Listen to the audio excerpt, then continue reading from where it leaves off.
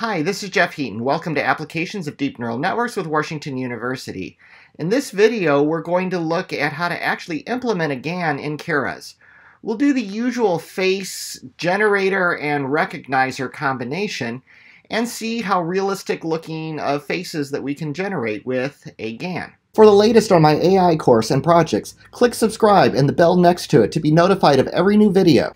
So you typically think of faces as what you are generating with GANs, and that's exactly where we're going to start. We can use GANs to generate faces like these that are very high resolution. To train this sort of uh, GAN requires a pretty advanced GPU setup and a lot of compute time. We're going to try to keep this constrained to what we can do in Google Colab, so to do that, we're going to not generate this higher resolution of faces. I'll show you in a later video how you can run this on your local computer and generate these, downloading weights for your neural network actually from NVIDIA. That way you don't need the major compute power to actually generate those weights. So we'll see how you can generate this high of resolution, but not how you can train to this high resolution because that takes a considerable amount of compute power. I'll probably do a follow-on video outside of this course talking about how you could actually train this higher resolution if you're willing to get something like a Titan 5 or a Amazon AWS instance that you're that you're paying for that would give you this extreme of compute power. So let's see how we can create some faces in Keras. We're using a variant of GANs called a DC GAN that is using a convolution neural network to actually help to generate these. I give you some information here that I gleaned from various sources to put together the code that we're going to look at that is actually able to generate these faces and to train for them. We'll see this really kind of encode as I go through this.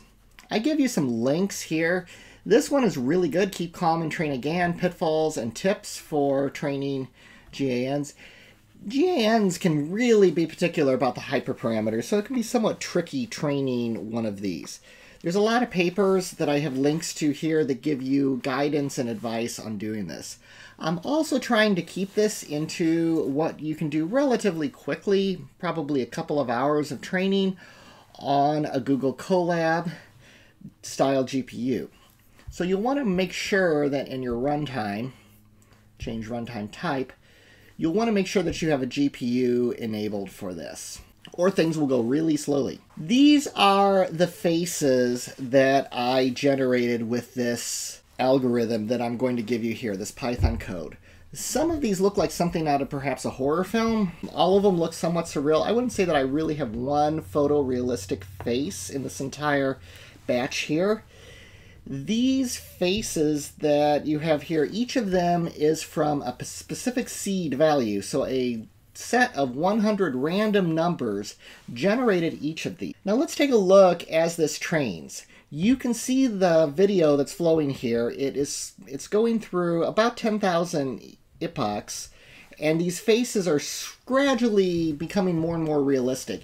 Each square on this training video has exactly the same seed value. So you're seeing how these seed values stay the same, but the faces generated from each of the seeds is evolving as it trains and gets better and better and better. So let's see how we can run this. Go ahead and run this block. Now I'm going to assume that you're doing this from Google Colab.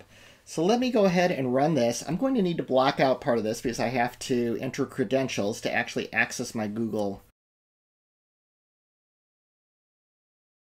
Okay, now my drive is mounted. You're going to need training data. So these are the two locations that I suggest to go get your training data from. And you're going to need to point the data path down here at the location that you've downloaded those to. They need to go into your Google Drive. Now this is going to be a couple of gigabytes put up into your Google Drive, so be aware of that. We're also choosing the resolution that we want to generate these to. That is specified down here, so the resolution 2 is for 64, 3 for 96, and so on. If you go above about 128 by 128, you're going to be beyond what G Drive and Google Colab can really do for you. So we're going to generate these just at the value that I have here. And what you need to do is download each of those. Those give you very big zip files. You unzip them and then you're going to put them into this location on your Google Drive. We'll take a look at what mine looks like. Okay, this is my Google Drive. I don't use this for a lot other than this particular class, so you'll see what I have here. I use a directory called projects. This is where I put the various things that I am working on. Underneath faces, you will see here that I have face images. So this is what you'll have to manually create. You'll create a projects and a faces or wherever you want to put this. Just adjust the path in your notebook. If you go into face images, this is gigantic. I've got this basically full of all these training images of faces that I got from those two zip files that you would download.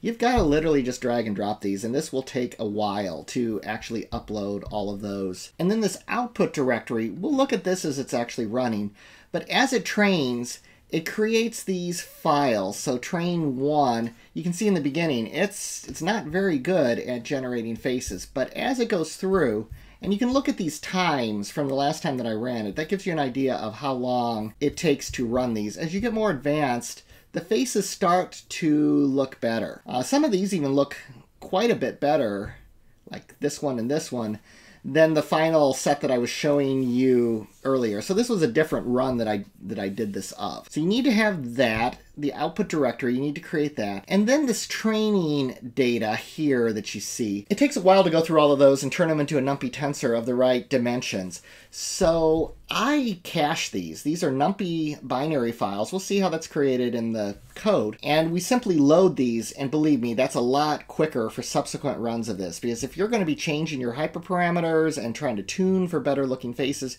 you don't want to be reparsing through all of those many JPEGs and PNGs and other files that make up the training data. Okay, you may want to change some of these. I am saving every 100 times through. The seed is 100. You could play with that. That will affect what the faces look like. You can do smaller seeds, larger seeds. This is where the, the data path is that you're getting your training and output from. Batch size is 32, and I'm training for 10,000. We're going to go ahead and run this section. Now we're going to build these paths because we're going to download all of those images from G Drive into Google Colab and build our training set. So remember how I had the training data of the generated size, those NumPy files? Here I am basically setting this up so that I am going to have that path. If I have not already generated the training data, then I'm going to have to actually download it. And this part will take a while if you're processing it. Otherwise, I'm going to load the previous training pickle. It's actually not a pickle. I need to update that. It's actually a numpy file. I tried pickles, but they were somewhat big and giving me issues on the newest version of pickle deals with that pretty well, but older versions of pickle do not deal well with large files. And by large, I mean in the gigabytes. So here we're loading the previous pickle. That does not take long. It's already loaded. We're going to build the generator and the discriminator. Both of these are simply we're using all the same neural network commands that we've dealt with before. Now this is, you'll notice that we're wrapping this all up in a model. Before we used sequence, and we use sequence here, but before we used nothing but sequence.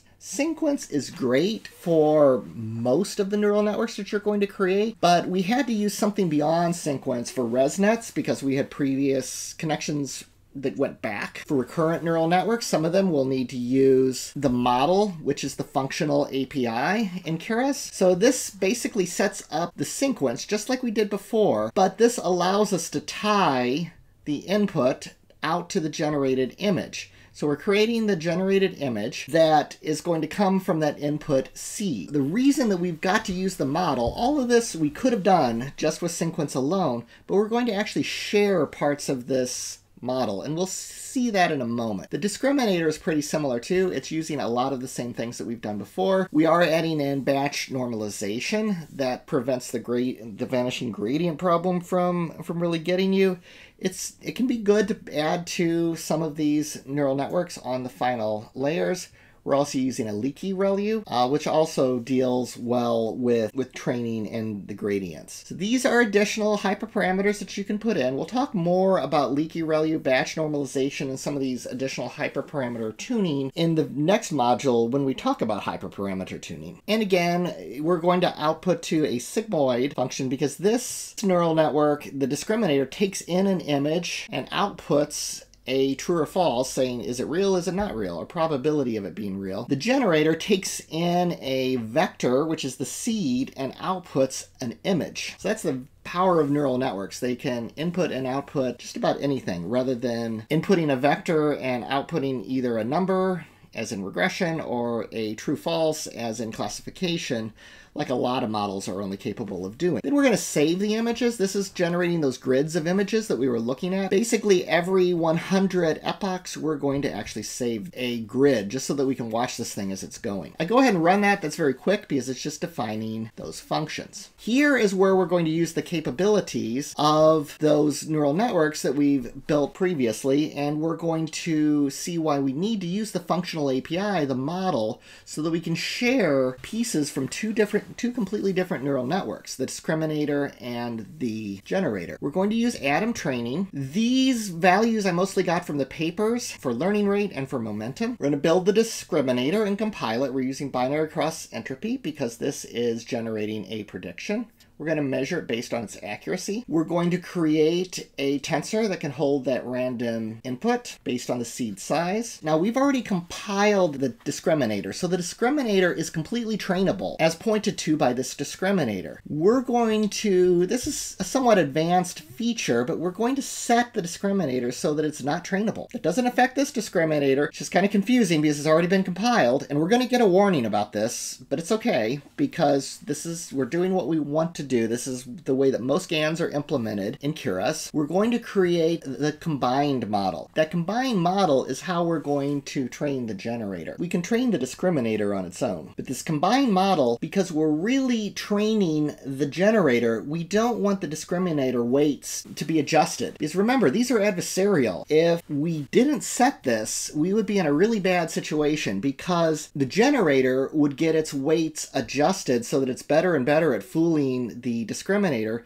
but then it would also adjust the weights to the discriminator to make it better at being fooled. So we've got to train those two separately. This prevents any sort of crossover. It's adversarial. We want these to work against each other. We don't want to adjust the weights from one to benefit the other. Then we actually train this. So we're going to create the Y real and the Y fake. I'm going to go ahead and run this while I explain it just so that it gets started. So we're going to create two Y vectors. One for real, which is all ones, one for fake, which is all zeros. I'm going to create the fixed seed. So this is what we're going to generate generate those grids of faces based on that I showed you. That way we can see the same faces evolve as this gets better and better trained. Now I am going to take a random sample according to the batch size, and we're going to create the X real. So the X real is taken directly from the training data. These are random faces that we chose that are in fact real. And then we're going to generate some fake images. We're going to create a seed. This is a new seed each time, not like the fixed seed. This is the one that we're using on each epoch so that we better and better and better train it. And then we're going to basically predict. This is generating some fake faces at this point based on whatever that seed was. Then we're going to train the discriminator. We've got some fake faces, we've got some real faces. Let's let's train it on both of those. We're going to call discriminator train on batch for the X real and the Y real. So it's going to train first on the real faces, then it's going to train on the fake faces. The paper suggests that you get better results for training these separately. Normally, you have a training batch and it's going to have a mix of real and, and and fake, there's some research that shows that separating these can get you some better some better results. We're going to calculate a metric on the discriminator. The 0.5 is just because we've got two accuracies going on here, and we need to combining them together and, and dividing by two. We're taking an average of the averages. Then we are going to train the combined.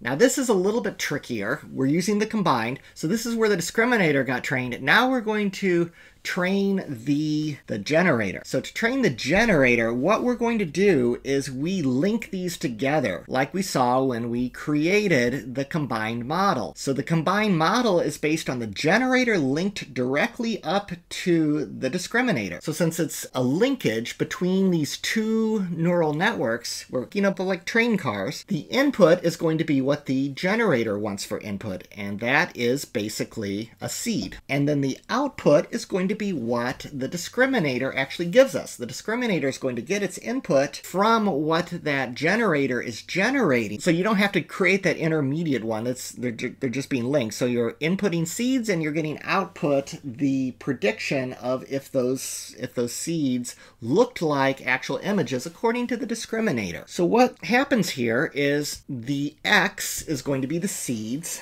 and the y is going to be the y real. So all ones. Why are we training on a bunch of fake images and all ones for the real? Because think about it, we are now, it's adversarial, we're trying to train the generator. If the generator is doing really, really well, it gave the discriminator a bunch of fake images. Discriminator said, yeah, they're all real. That is the ideal case for the generator. That's why we don't want the discriminator's weights to get adjusted while we're training it because it would it would break the discriminator to try to make it less hard on the generator. This is the generator training, this is the discriminator training. They cannot overlap. That's what's really powerful about the GAN. We didn't have to sit there and label a bunch of faces, real, fake, whatever. When we talk a little bit about how AlphaZero worked, where a deep neural network was able to master chess in under a day, that's where this power comes in. We don't have to label this data. The data are simply dealing with two things that are acting adversarial to each other and training. Now this continues to run. It's going to go for however many epochs we have. Every time it's time for an update to the human watching this thing, it'll generate a new image that has that grid of faces that we're looking at. Then finally at the end we save the generator because we want to keep the generator. We get this nice generator that can generate faces. We want to keep that. Discriminator we don't so much care about. Here it's running. You can see the accuracies of both of these. Now it's important to understand that the accuracies are not going to just get better, better, better, better, because the bar keeps getting raised. The discriminator is getting better and better at discriminating. The generator is getting better and better at generating. You're not going to see one of these just progress better and better and better. It's like two teams playing against each other. The scores are going to say fairly similar because both of them are getting better and better. This is just the number of times that the discriminator was right, the number of times that the generator fooled the discriminator. So that's that's how this runs. This is going to continue going. This takes maybe an hour, maybe two, to actually run through all 10,000 of those epochs that I gave you. And the end result is something like this. I showed you the clip earlier as we progressed to this. Thank you for watching this video. In the next video, we're going to see how we can use a pre-built face generator to generate very photorealistic faces. We're going to use StyleGAN.